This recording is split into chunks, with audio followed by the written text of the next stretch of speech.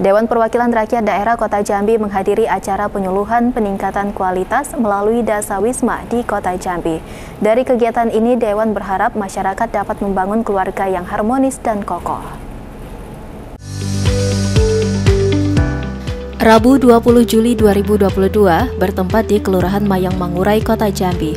Anggota Dewan Perwakilan Rakyat Daerah Kota Jambi, Anti Yosefa, menjadi pembicara pembukaan penyuluhan peningkatan kualitas keluarga.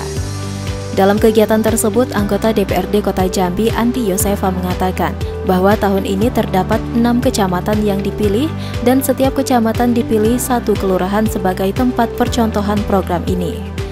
Anti Yosefa menyampaikan bentuk kegiatan yang dilakukan dalam program ini berupa penyuluhan, sharing, dan juga terdapat praktik lapangan.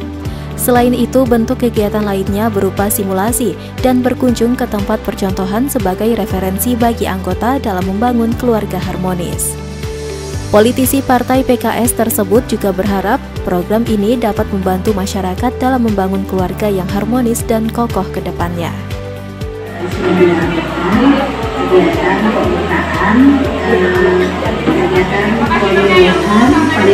keluarga ini. Jadi keluarga yang nanti akan dilakukan pembinaannya di P39 sebagai percontohan dulu. Nanti mereka juga bisa kepada insya Allah tahun ini ya Pradis ada 6 titik ya, 6 kecamatan, setiap dipilih satu ya kelurahan sebagai tempat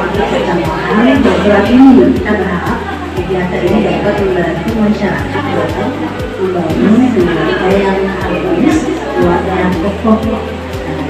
Nah, harapannya nanti akan terbangun masyarakat yang Sandi, Anissa Tari, Cek TV, melaporkan.